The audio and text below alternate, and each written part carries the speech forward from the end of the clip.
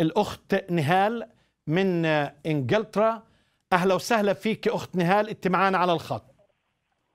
ألو مساء الخير يا أسيس نزار. أنا بشكر حضرتك كالعادة وأنا هدخل على طول في ال- النقطة اللي عايزة أقولها إنه شخصية المسيح على رأي حضرتك هو كمال المثال ومثال الكمال فما بيختلفش عليه اتنين يعني.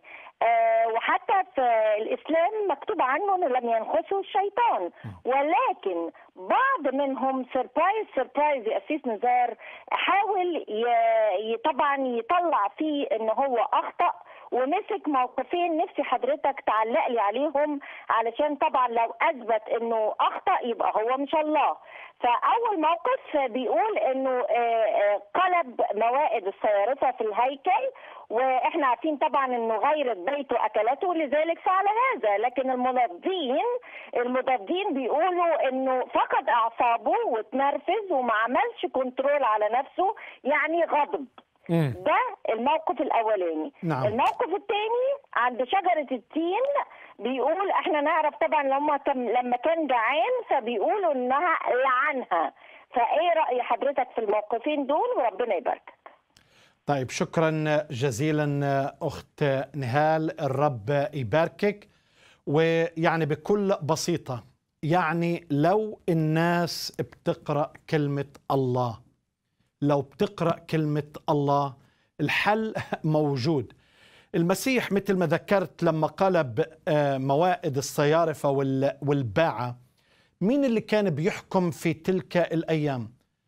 لو الناس بتقرأ التاريخ المؤرخ يوسيفوس شو بيحكي عن هذه العائلة اللي هي طبقة الصدوقيين اللي أجت منها رئيس الكهنة؟ للأسف المفروض يكونوا مثال للمجتمع.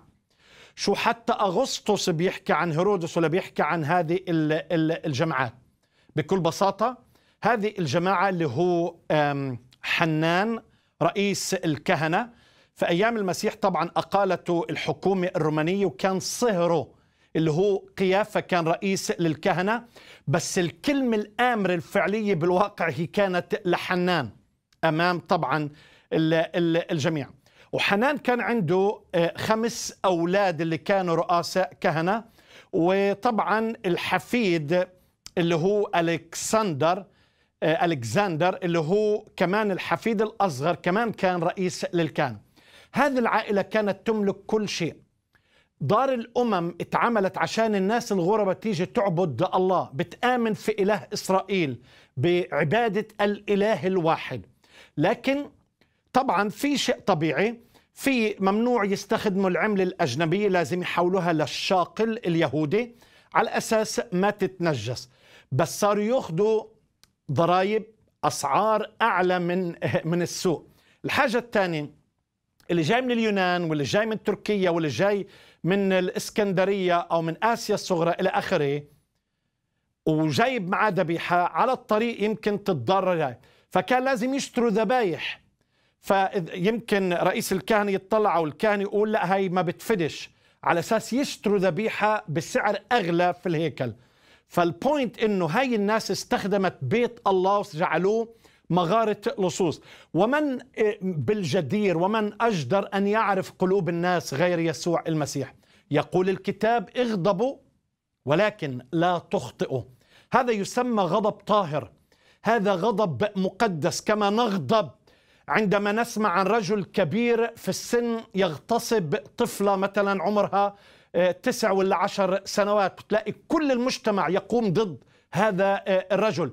هذا اسمه غضب مقدس أو بنسمع عن القتل اللي حدث في بلادنا آه، بدون أي مبرر باسم الدين وباسم الله. ما فيش مبرر. بحط في قلوبنا غضب مقدس. هذا ما حدث مع يسوع المسيح. أما بالنسبة للعن شجرة التين أحبائي كان ربيع.